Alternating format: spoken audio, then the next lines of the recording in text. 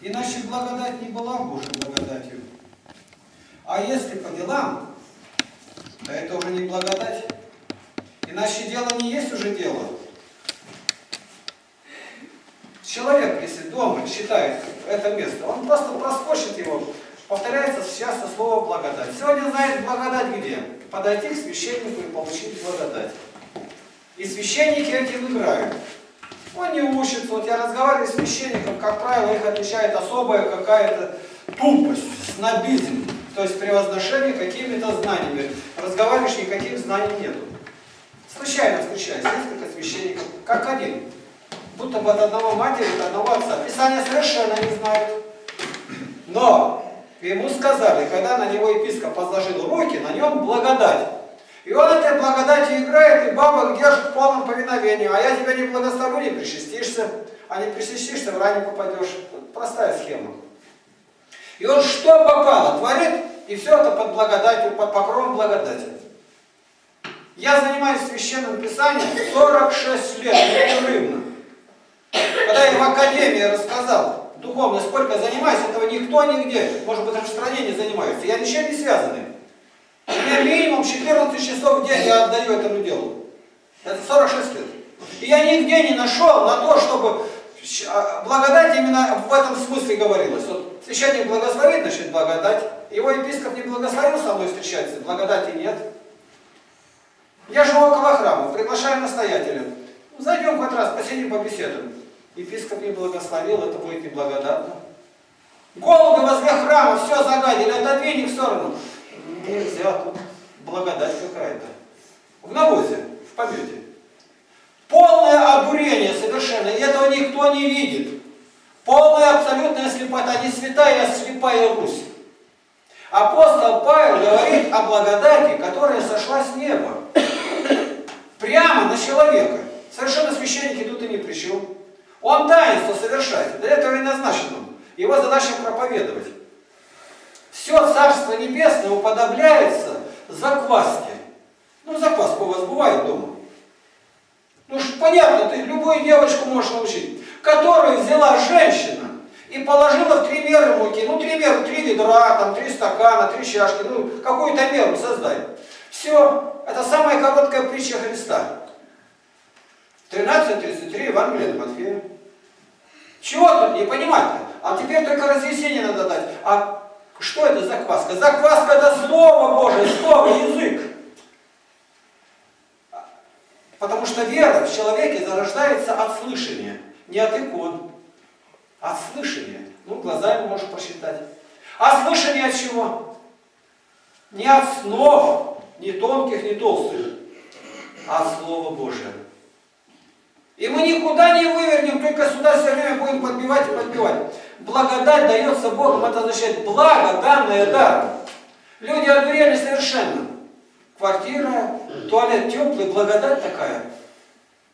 Это каждый почти знает, что такое благодать.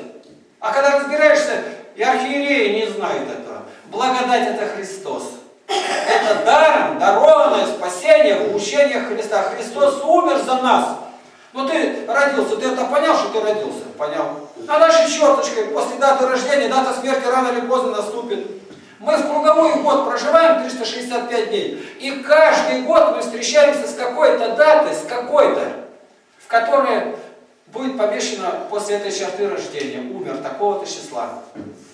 И мы каждый год на эту дату натыкаемся, что-то у нас особое бывает, какой-то толчок, звонок, щелчок в душе. Мы не понимаем, что это такое, что-то необычное видел, вздрогнул. Это означает, ты встречаешься с тем днем, когда ты отойдешь из этой жизни. С чем мы отойдем? И вся жизнь, конечно, в счете направлена к тому, имеем ли мы жизнь вечную. А если не имеем, у человека два положения, вверх и вниз, в ад или в рай, другого нет. А я не хочу ни в рай, ни в ад. Я проглощу 10 атомных бомб, взорвет, и меня не будет. Бог заново соберет. Некоторые сейчас отдают большие деньги для того, чтобы их сожгли а прах запустили в космос и развеяли. Деньги платят. Огромные деньги. Бог соберет из космоса. Если Бог из ничего, одним словом, ни одной молекулы не было, сказал, и мир явился, планеты полетели, миллиарды галактик, которые неведомые нам, которые ни один телескоп Ни одна радиоволна не достигает, они есть где-то бесконечности. Если все вот эти галактики разложить на молекулы, на граммы, на, на атомы, и все равно определенное число должно быть.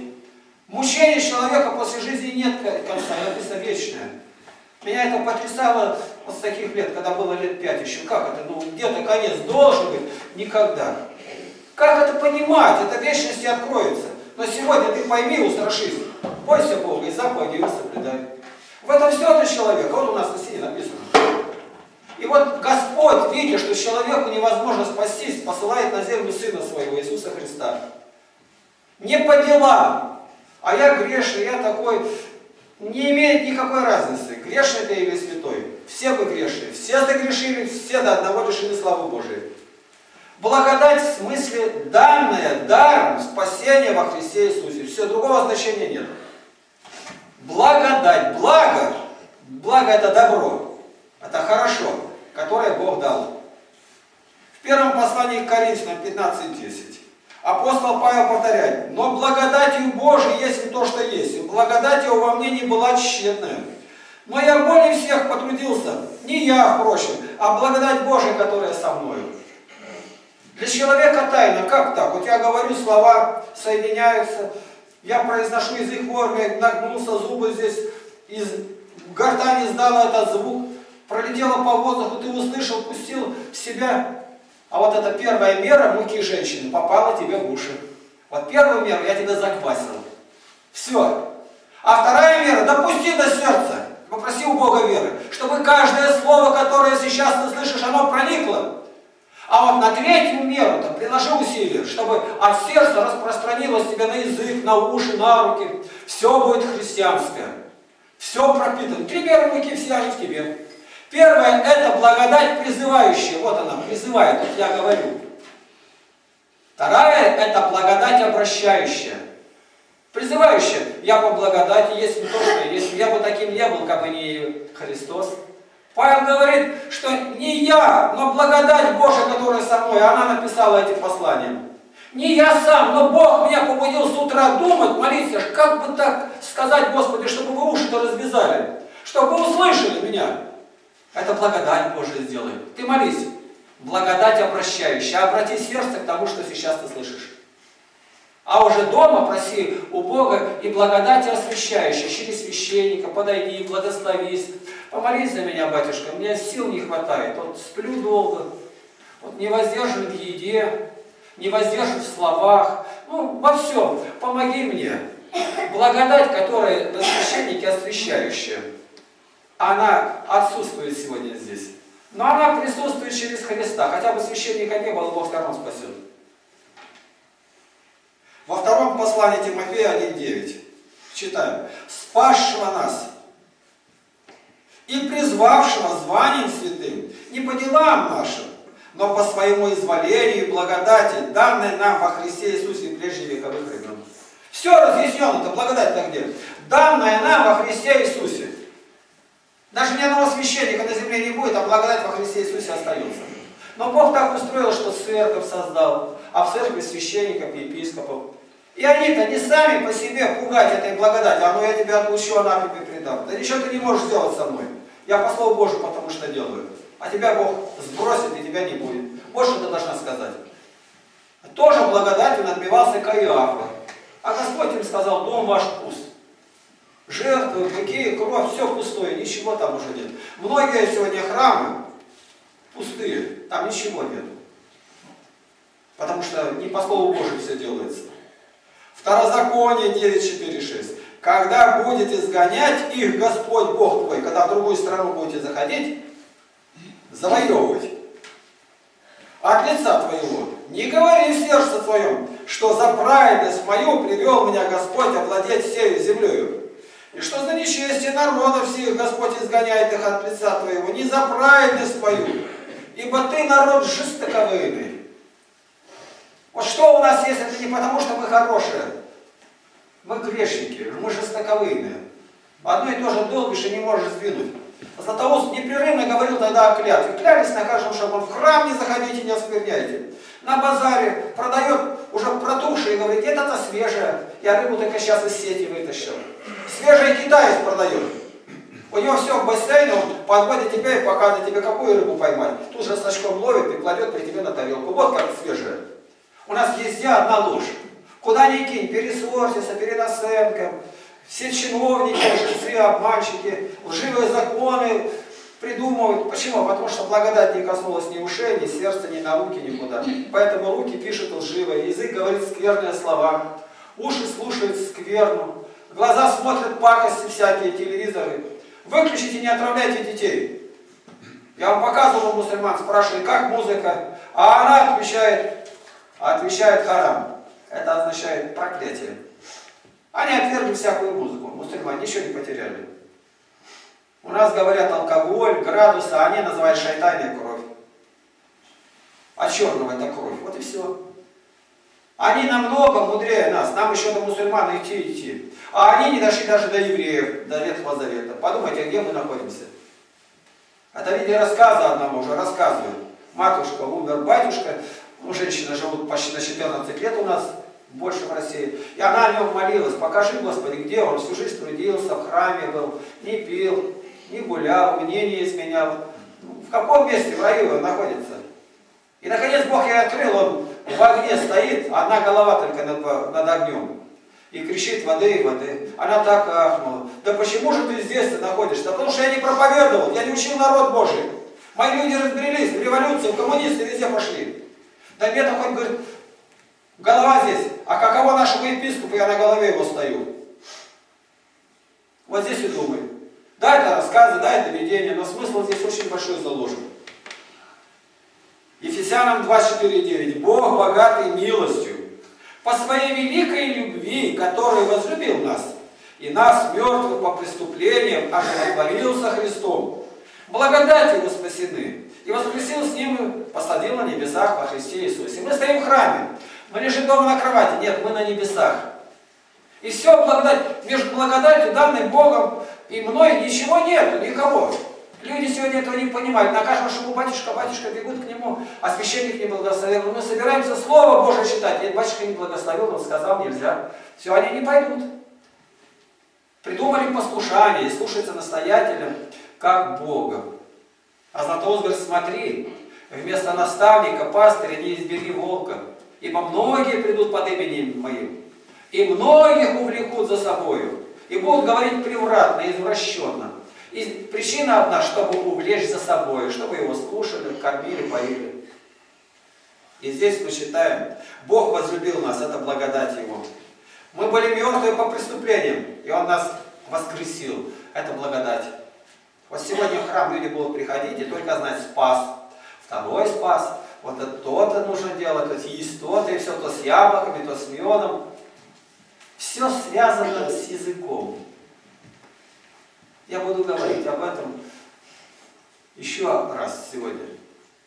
Что в преображении самое главное? -то? Христос преобразился, это никакого значения не имеет. Это его нормальное состояние. А то, что в плоти человеческой было, он не светился, это ненормально.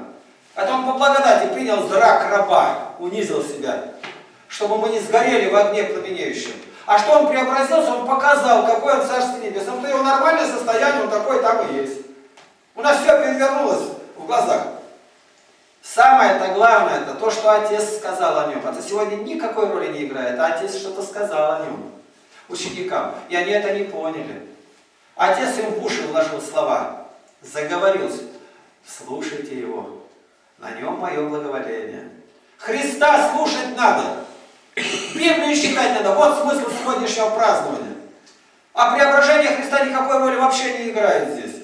Он через преображение только подвел голосу Отца, для этого и повел. И вдруг облако ушло, сияние от Христа отошло, пошли на землю. Ведь так было.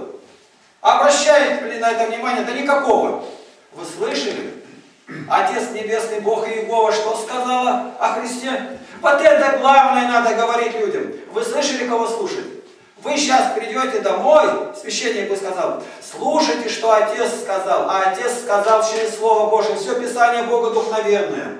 Все Писание писано святыми Божьими человеке. И все Писание написано людьми, у которых руки двигались, но они движимы были Духом Святым. Это Петр понял, он это принес когда от великолепной славы, говорит, принесся глаз. Потом он вспоминает эту славу, а все-таки упор делает на голос. Бог сказал, слушайте его. Христа слушать. Не батюшку, который, может, ничего не знает. Ни архиерея, ни, ни папы римского, ни патриарха. Если слова их не сходятся с Библией. Галатам 2.21. Павел говорит, не отвергаю благодати Божией. А если закон оправдания во Христе, то Христос напрасно умер. Не от того, как пальцы сложишь, не от того, что ты делаешь. Это только подтверждение веры твоей. Ни от добрых дел нет, ни от законных дел. По закону мы должны быть добрыми, любить, помогать, сострадать, собой жертвовать. Но мы спасаемся не этим. Мы спасаемся жертвой Иисуса Христа. За меня умер Христос. Кровь Иисуса Христа омывает от всякого греха. Повторяю это постоянно. Мы спасены кровью Христа. Мы движены благодатью Духа Святого. И между нами никого нет, никакого цензора, никакого папа. Бог его назначил для того, чтобы совершить таинство, я пришел, чтобы он был наставником, вел меня. Послание к Римлянам 3.27. Где же то, чем вы хвалите? Уничтожено. Каким законом? Законом дел? Нет. Но законом веры, благодати. Хвалиться нечем. Что бы у тебя ни было.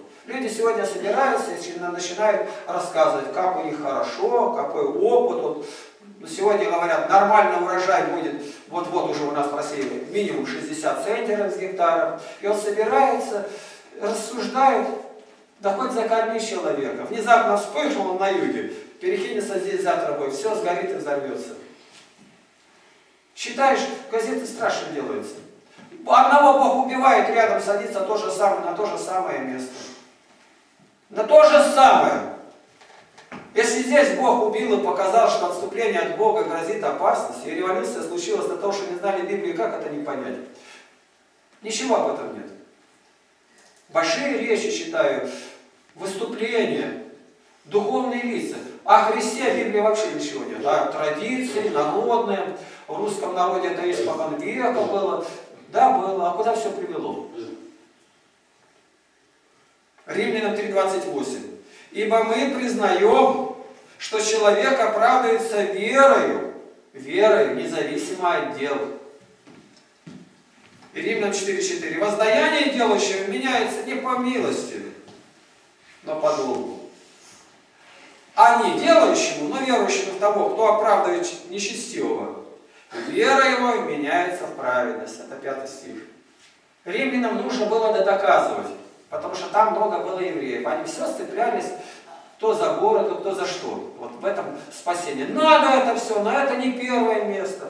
Это доказательство того, что я верю. По своей я не евреюсь. По вере мне. По вере Христа я молюсь. Молитва это углубленность. Приходите в храм, никуда в окна не заглядывайте. Смотри под ноги, опусти голову. Все что-то рассматривается, себя рассматривай. Семь минут, которые у нас перед богослужением молчания, до углубления в самого себя утишься. Что было? Прости, Господи. Мы за столом сидим больше, чем молимся. Прости, Владыка. И эту неделю я прожил далеко не так, как должно. Помилуй меня, Господи. Говорят, время – деньги. Это обман, никогда не верьте этому. Деньги потерянные можно возвратить и даже больше. А человеку отмеренное время нельзя не добавить никак. Я вам говорил, что если человеку 70 лет, это 2,2 миллиарда секунд. И ни одной секунды больше не будет. Бог назначил. За грехи отнимает жизнь, бывает. За праведность может продлить жизнь. До 70 лет еще не доживешь. Если Бог продляет жизнь секунды, они даны для того тебе, чтобы ты славил Бога. Передал другим опыт. Большой опыт. Они не знают этого. Передай им и скажи хорошо тому, кто знает Христа кто ежедневно углубляется в Слово Божие. Он будет как дерево, посаженное при потоках вод. И лист его не вянет. И все, что не начнет, успеет. Почему некоторые не успевают? Потому что в храм не идут, Златоуст говорит. Идите в храм, все успеете. Садись за Библию. Ты видишь, не успеваешь, дело развалится. Открой Библию, почитай. Хотя бы пять минут. Призови детей, которые около тебя. Встань на колени. Римлянам 5.20. Закон же пришел после, и таким образом умножилось преступление преступления. Раз закон есть, стали нарушать. Закона не было, нарушений не было. Вот у нас по Теряевке сейчас выставили знаки, которые стоят на дорогах. На каждом шагу будет нарушение. Не больше пяти километров ехать, пыль, чтобы не поднимать. А когда надписи не было, нарушений никакого не было. Я просил сделать, чтобы остановка здесь была. Здесь дети идут в школу. Так и не сделали. Ну, не считая, батюшка золы насыпал, говорит, это лежащий полицейский мой. Леность наша. А закон пришел, закон-то нам дан Богом. Поэтому на каждом шагу мы видим, и здесь не так, и здесь не так. 21 стих. «Дабы как грех царствовал смерти, так и благодать воцарилась через праведность к жизни вечной Иисусом Христом, Господом нашим». Где благодать? Во Христе Иисусе. Благодать – это избавление от прежней жизни. Бог меняет все. Преображение внутри человека идет от благодати Духа Святого. А если ты тогда был такой, и сегодня ничего не изменилось. Верующий человек за событиями просматривает потаенную сторону. А как это будет дальше в вечности? Любые болячки свою. Почему болят ноги? Куда нужно не ходил. Ходила, я спрашиваю на танцплощадку. Ходила, ну и поэтому неси это ей, еще стонешь теперь. Глаза больные. Куда смотрела глазами-то? Телевизор прошел все. И не удивляйтесь, что половина в очках. Ты благодари Бога еще, хоть дорогу домой находишь. Что бы с тобой ни случилось, во всем находи прежде, а это любовь Божия, это Он по благодати мне дает. Это все Его благодать. Послание к Титу 3.5. Он спас нас не по делам праведности, которые, были бы, которые бы мы сотворили, а по своей милости, бане возрождения и обновления Святым Духом. Обновление это есть преображение. Сегодня церковь отмечает этот праздник. Есть в нас это преображение или нет? Я смотрю на российскую историю, как на Руси было. Понятия преображения никакого не было. Искали только во внешнем. Храмы непрерывные, монастыри, а люди те же самые. Дал оброк, что-то случилось, несчастье. Я даю оброк пешком сходить в Иерусалим. А другие еще дальше шли, даже до Иерусалима доходили. Шли на Афон, ну, конечно, не у каждого, но в семье желательно было, чтобы один ушел в монахи. И тогда всю семью он отмолит. Это совершенно новая вера, никакого отношения к Евангелию не имеет. По Евангелию беда ли какая случилась, дай Богу обед. К этому больше я не прикоснусь. Господи, куда я шел? Что со мной было? Я сижу один, вспомню, что делал в жизни. За голову схвачусь, только плакать и с колен не вставать. Глаза бы не открывал никогда. Как я мог это сделать? А благодать не коснулась сердца, ты сделаешь еще хуже. Благо не смертный грех. Никого не убил, не снасильничал, ничего не было. А все рядом шло. Прям по кромке Бог провел. Единственное, от отца я знал, что коммунисты и прочие это звери, и, что они сделали, а потому что отец меня вложил в это раскулачивание, другого я не знал. В меня родители не вложили, то, что по благодати Господь меня терпит. Я этого не знал. Во мне все было бы другое. И более всего я тоскую о том, что это преображение у меня не случилось раньше, не в три года, а в 23 только. И сколько же у меня зря потеряно было времени, годов. Я провел столько ненужного времени, там дрессировка собак, занимался, ходил. Вообще не там. Бог хранил от грехов. Но все это было мертвым. И в этот праздник, который назначен церковью, искусственно, его не было в первые века. И все-таки мы примем его для себя. У нас десятый день, у нас принято не работать. Поуглублись сегодня в Священное Писание. Придете сегодня, откройте место Писания. Я советую сегодня, почитайте Екклесиаста. И он всюду говорит, все, дай свет.